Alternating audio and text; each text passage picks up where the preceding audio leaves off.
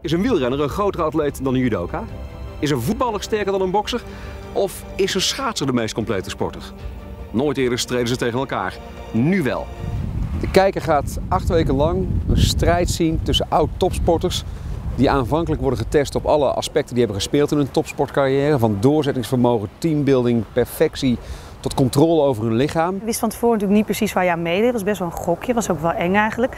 Maar omdat al die facetten erin zitten, is er altijd wel iets waar je goed in bent. Ik ben een, een teamsporter en een judoka is dat niet. Dus ja, als er dan onderdeel teamsporter komt, dan is de kans dat ik daar beter in ben natuurlijk wel aanwezig. Hey, hey. Maar als je het gevoel hebt dat je eerste bent en je staat er in die boot en je hebt al een beetje de taste of victory en het gaat dan niet door, ja, dan, ben je echt gefrustreerd. Nou, dat heb ik nu. Te veel, Mark? Nee hoor. Een makkie. Ja, als dat fluitsignaal eenmaal gaat, dan krijg je toch een waas voor je ogen. Het is heel bizar, maar dan wil je gewoon weer winnen. Voor het eerst te zien op de Nederlandse televisie Eeuwige Roem. Een heerlijk programma, acht weken lang bij de AVRO om half negen op donderdagavond op Nederland 1. Vanaf 1 april. Ik zou zeggen kijken, want er gaat veel gebeuren.